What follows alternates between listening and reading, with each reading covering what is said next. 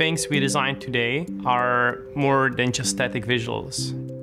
Today, designers are more and more challenged with how things actually behave, how they interact, how they move around, how they feel. As a designer, you're you're like at the forefront of the battle of, of technology.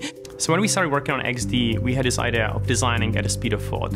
It really is about removing the barrier between you and other people and letting your ideas and visions flow.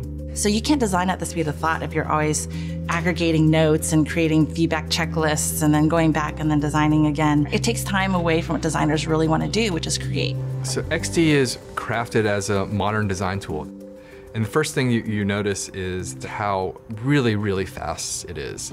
There are a lot of really thoughtful touches in XD that let you shortcut your way through tedious tasks that designers are doing every day, like duplicating objects or you know, managing uh, symbols or, or smart objects.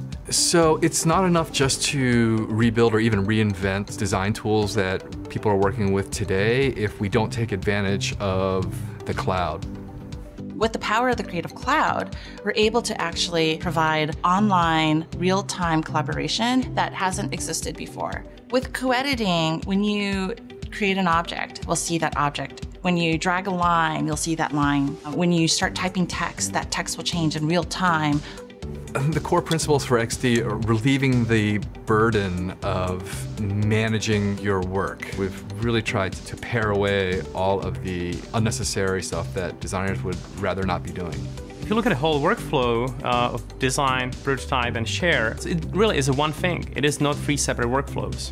In the same way that Google Docs and Office 365 has transformed the way that team workers collaborate within the office space, Adobe XD will transform the way that designers create. We really believe that design can change the world. It really has. But at the same time, we know that the way we work needs to evolve too. We really believe XD changes the way you design. So when you're able to be creative, the sky's the limit.